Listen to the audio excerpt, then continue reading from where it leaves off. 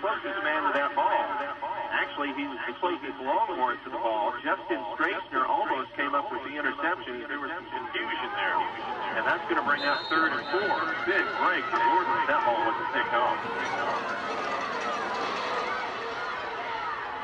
Third and four. Costilla has Tom Arena and Sizemore in. There's a little whoopsie-doo around the right side to Tom Arena, and it doesn't do a thing. A little bit of a delayed handoff. The fake inside to Sizemore and Tom Arena around on a delayed handoff coming around the near side, and he walks three. And this is a difficult decision. I think the Longhorns are going to go for it on fourth and now it's about the seventh. Fourth and seven for Gordon. And now Sizemore goes back into punt formation. They need to punt here, no doubt about it. Sizemore takes the snap, gets off an end-over-end kick into the wind. That'll be a good one for Gordon. Oh, and it's going to go down inside the six-yard line. It's taken there by number nine, Joe Costilla at the five-yard line. So Gordon accomplishes what they need to there to put Harrell deep in their own territory. But the Longhorns have yet to be able to stop Harrell. They really haven't. You know, Harrell has so many different weapons, but Brandon Rogers, I hate to keep hopping on this one guy, but he really is electrifying out there. He makes the plays. You know, I don't know if you have to double the guy. You know, how can you double a guy in six-man? I mean, that takes away almost half your team right there. You don't unless you want to take a great risk. Here we go. There's Lopez. Hands it off the middle now. That's what you need to see from the Longhorns. He hands it off there to number 34, Justin Sullivan, who really hasn't gotten the ball much today. And he's immediately tackled. Looks like it might have been Costilla or possibly Brian Barber again on the tackle. And Jesus Tafarina was very near the action as well. Three minutes, 10 seconds to go in the third quarter. Clock really not a factor at this point, but it could be fairly quickly. Second and 13. Lopez hands off to Rogers, who is ankle tackled at the line of scrimmage. Tom Farina this time would not let go of Rogers. And he will pick up about two yards, and that may be Rogers who's down right That might be Rogers who's down. That would be a big blow to the Panthers. And that's one thing about six-man football, injury. What could an injury do to a three-man football team? Totally wipe it out. It can devastate it when you look at one out of your six men who's down. That's the equivalent almost of, of losing uh, two outstanding players for your 11-man. As the snap goes back to Lopez. Lopez is in trouble. Now he's trying to go to the right side. He avoids one tackle. Now dumps it away. And we're going to have a flag. I believe we're going to have an intentional grounding. I don't see a flag. Back here at the five-yard line. Indeed, that is the call. Intentional grounding. There it is. That's a loss of down, and it will uh, actually it won't benefit the Longhorns that much, as it would have been fourth down anyway. But it's just going to back the Panthers up a little bit. They would have had to kick the ball away from the eight-yard line. Now they'll have to kick it away from about the three-yard line. So if you're looking for a defensive stand print, there you have it. That's it. That's what they need right now. Defense has been good, especially all year long. You can look at the scores and think they've been blown away offensively, but defense has done the job, and I need to do the job here in the closing minutes. Justin Straichner is in the back of his end zone to kick this ball away. It's blocked. It's blocked by Jesus Arena. It goes out of the end zone, so it's a safety. Oh, big, big, big play. Unbelievable. Hey, you can't get any better than that defensively. I mean, you really can. Unless you're going to catch a, you know, catch a four or bring an interception for touchdown. That's a defensive player's dream to cause a safety like that. And that's what just happened for the Gordon Longhorns, for Jesus Tyreek. Wow, Tom Arena was going so quickly to the ball after he blocked it, he didn't want it to go out of the end zone. He wanted to recover it for the touchdown. There's the punt. Pretty good punt on the left side, but Sizemore will get the field at into 13. He's up the right side, now reverses field, now makes the move, and has a nice return up to the 37 yard And if you don't think these Longhorn fans are back in their football game, you've got another thing coming. Did you hear the roar of the crowd when Sizemore fielded that punt? Mean, they, hey, anytime Sizemore touches the ball, you know you've got a chance. Gordon Longhorns have relied on him all year long. By the way, he has over 2,000 yards rushing, 2,274 yards on the year.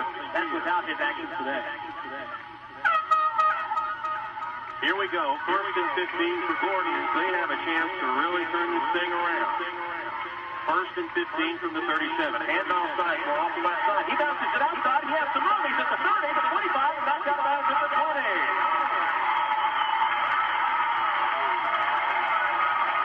Wow. A 25, 26 yarder for Sizemore. I think you heard him talking about Lynn. He may have, and I can't sit down any longer. As this Gordon Kraft begins to get into this with the players on the sideline, that's the first time I've seen any juice flow through that sideline as they are beginning to think they're back in this ball game. First and 15 now as Sizemore takes it to the 18-yard line. And Costilla has Tom Arena and Sizemore behind him. Here's a handoff up the middle to Tom Arena. He pulls his way down to the 9-yard line, and we have a flag. We have a flag, and it's going to be some type of penalty against Whitharral as Tom Arena goes down, and they threw the flag on top of Tom Arena. Let's see if it's a face mask or a late hit, but it's going to be one of the two. It's a face mask. Tell you what, Tom Arena looked like John Levin right there. The way he pounded through that line. Let's see, how much does Tom Arena weigh? 145 pounds, 265 pounds, maybe. And a hundred different, 145 is a big stretch for Jesus Tamarina. Yeah, that's right. He is the smallest guy out on that football field, but he ran with the most power and authority of anyone out there just then. First and goal to go, actually it's second and about two from the five-yard line, so they could get a first down. Costilla hands off to Sizemore off the right side. He's hit behind the line of scrimmage, but somehow stays on his feet and gets back into the original line of scrimmage, maybe even picked up a half a yard. As I would venture to say that Sizemore is running with a bit more confidence than he did in the first half of this ball game. It's going to be very close to a first down. He picked up a yard. It looks like he's going to be short, but they're going to bring in the sticks and measure. And that could be important as it would be otherwise third down and less than one, or first and goal to go. I'll tell you what, I'll tell you what, If Gordon scores right here, you can look back at that safety. You can keep looking back at that safety all the way to the the ball and keeping Gordon in this football game. I think that safety, I don't care if two points. That's the biggest, that's the, that's the biggest play the ball so far. No doubt about it. It's third and about a foot from the four-yard line and look for Jason Sizemore to get this football. Now it's a handoff inside to Tom Arena. He stopped at about the two. He should have the first down. He should have. He stretched out a nice second effort there. He gets a yard, but it's a big, big yard in football game. There's the indication, first down. Longhorns will have four opportunities to poke it in from the two-yard line. And you'd have to believe the momentum has changed here. A minute, 12 seconds to go in the third quarter. And what looked as if a dire situation only moments ago is turned into a pretty positive one for Gordon. There's a handoff to Sizemore. He's hitting the backfield, and he'll lose a couple of yards. That almost looked like a broken play.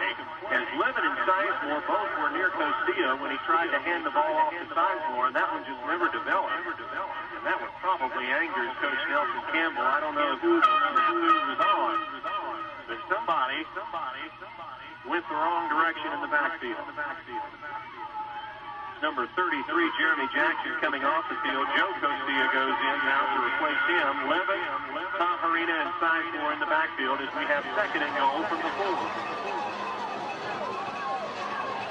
Costilla rolling around, wants to throw the ball. Now he's in trouble. He better do something. He's at the 10. He rifles it to Sizemore. He got down to the corner of the end zone.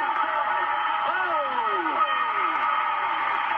A four-yard touchdown reception for Jason Sizemore. And I'll tell you what, There in the corner. The guy who made that play, no doubt about it, the quarterback, Jim Costilla, he stood around in the back waiting for something to happen. And all of a sudden, he was in big, big trouble.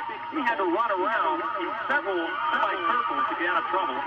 He finally threw the pass in the corner end zone. Great job for the Gordon Longhorns.